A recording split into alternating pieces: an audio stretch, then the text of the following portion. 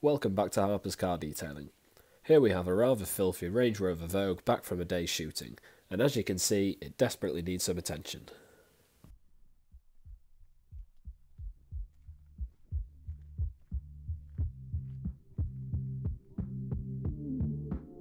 Firstly I start with the wheels, two different size Valet Pro brushes, one long EZ wheel brush for the inner barrels, one clean soft applicator pad for behind the spokes, and a tyre brush, and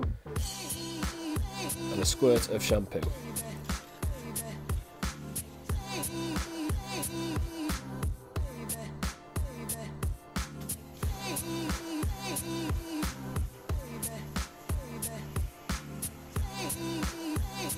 Firstly I start by giving the wheel arches a thorough rinse, which in this case, and because the car is relatively new, is all it needs.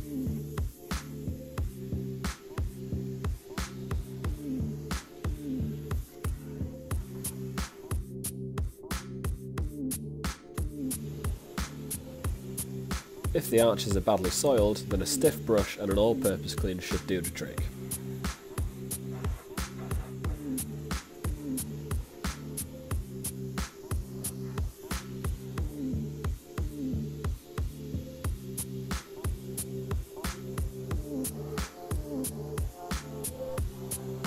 After this, the tyres and wheels are thoroughly rinsed.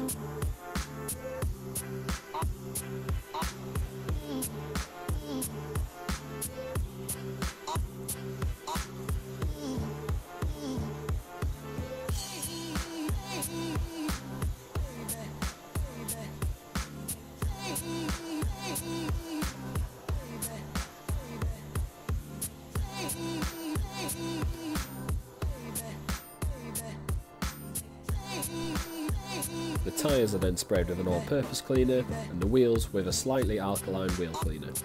This is then followed by a blanket of foam to help aid lubrication.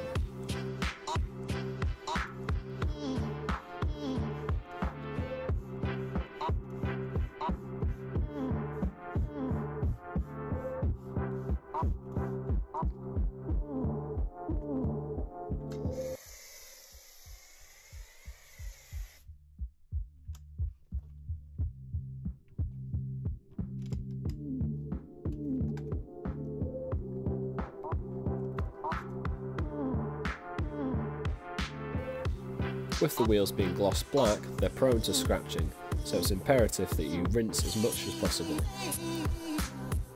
If the wheels are particularly dirty, then it might be worth using an iron remover, as the iron from the brake dust is particularly sharp and can mark the gloss finish.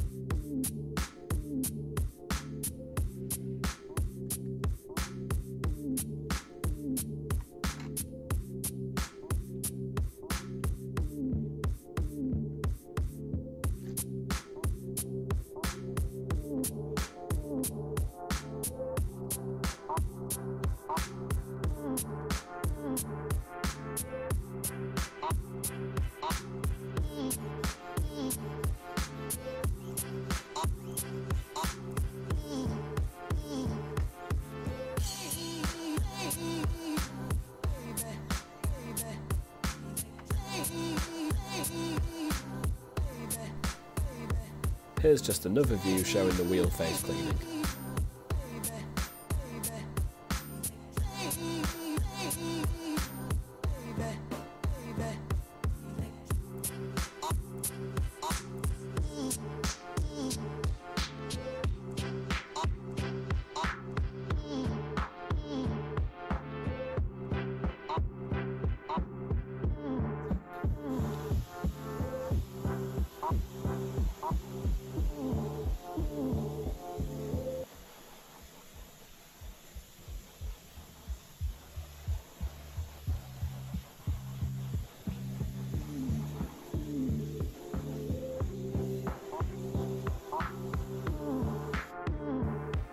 Usually I would go straight to a pre-wash degreaser, however I wanted to remove as much dirt as possible beforehand.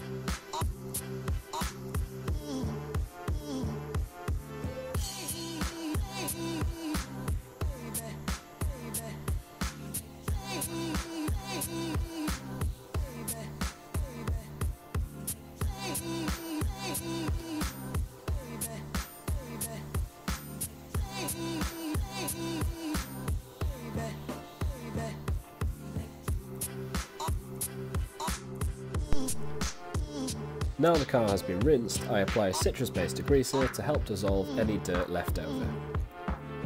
I know the car doesn't look particularly dirty after the rinse, however if I left this to dry, the car would look like I've just taken it down to the local petrol station and quickly rinsed it off.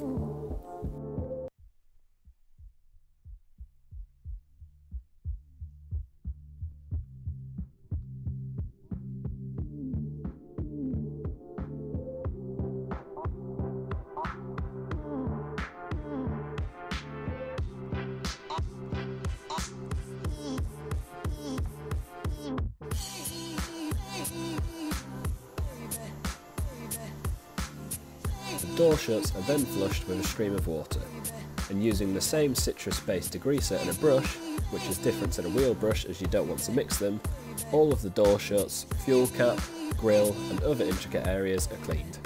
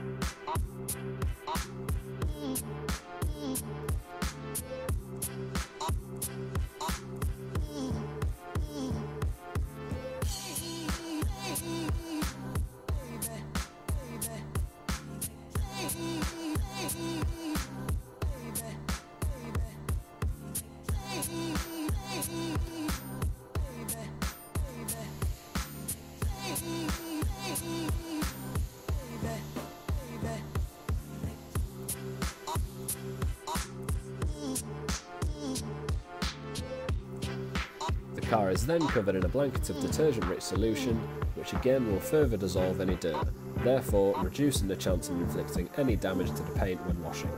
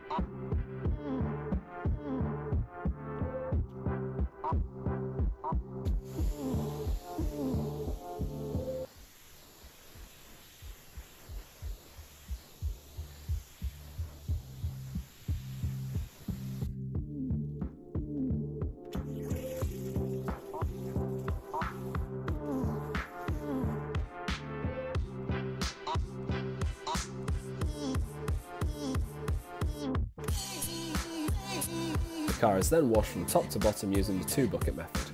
One bucket is filled with soapy water and the other rinse water.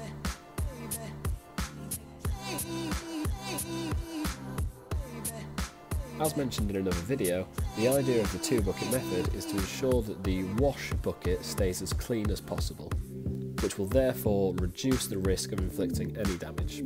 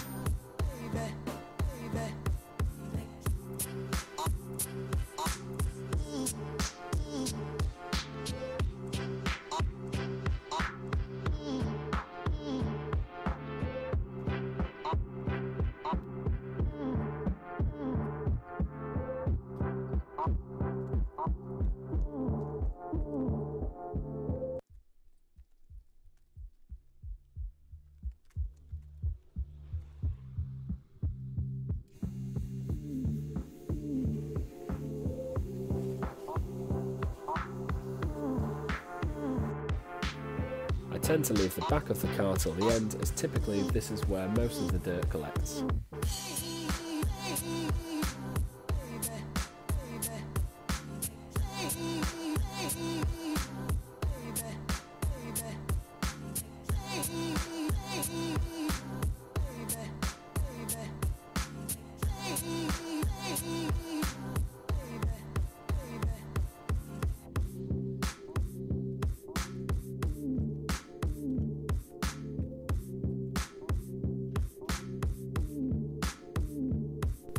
Using a twist and loop microfiber towel, the car is then dried.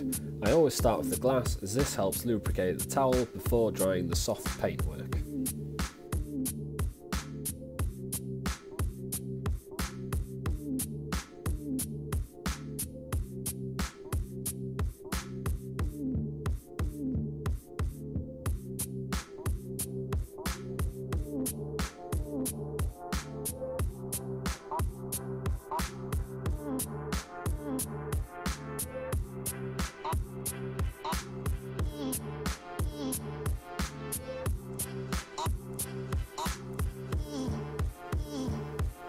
Couple of ways to dry the wheels, either with a damp microfiber, which is shown here, or by using pressured air, which is shown when I dry the tyres.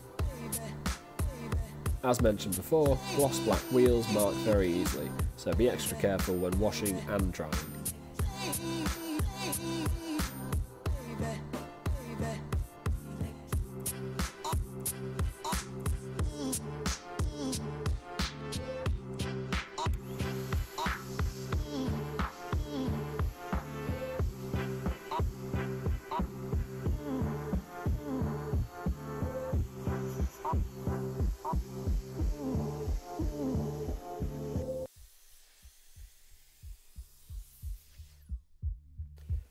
Now to finish the car off, I dress all of the tyres. In the winter, I like to use a water-based dressing such as CarPro Perl as it doesn't matter if the tyres are still slightly damp.